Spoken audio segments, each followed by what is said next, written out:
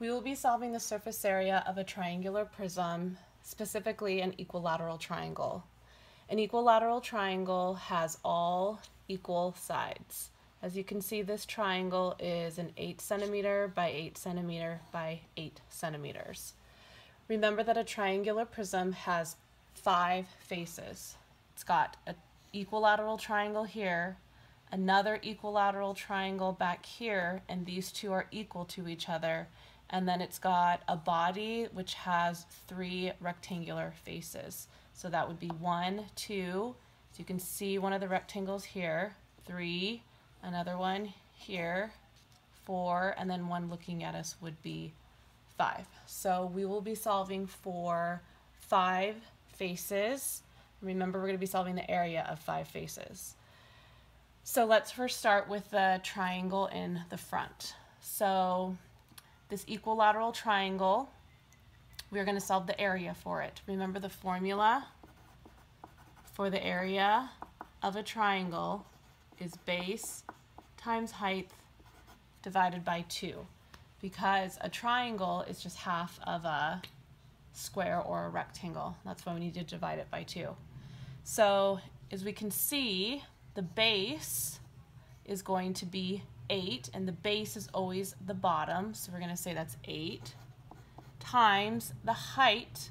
Remember, the height is how tall the equilateral triangle is, and it is 3 centimeters. So we're going to do 8 times 3, which is 24. We're going to then divide that by 2, so that equals 12. So this triangle will be 12 square centimeters we know that this equilateral triangle will be equal to this equilateral triangle. So I also now know that this back triangle is also 12. So we've solved for two faces. We have three more to go, which are the rectangles that you can see that wrap around it.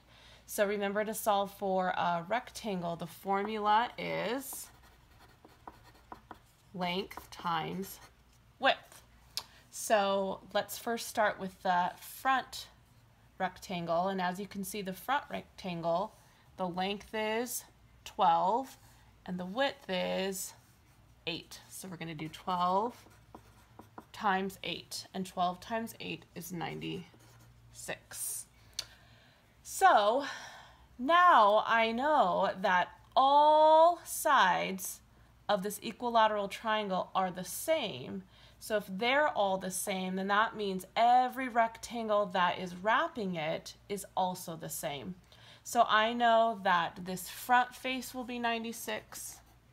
I know that this back face will also be 96 because as you can see, this length matches up with that length. So that's 12. And this is the width because it matches up here, and that's 8. So 8 times 12 again is 96. And then lastly, we have this bottom rectangle. And as you can see, the bottom rectangle is also a 12 by 8. So then we have to do 12 times 8 again, which is 96. You could just times by 3. That might be easier for you to do. It's up to you.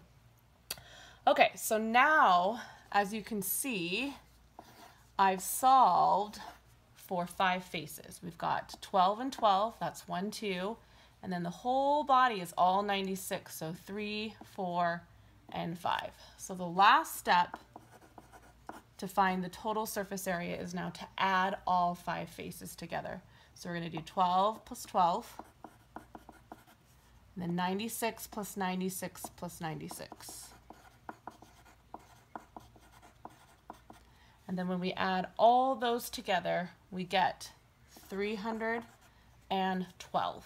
And that becomes the surface area of this triangular prism. We need a label. It's being measured in centimeters. Area is squared, so it's squared centimeters. So this is our final answer, 312 square centimeters.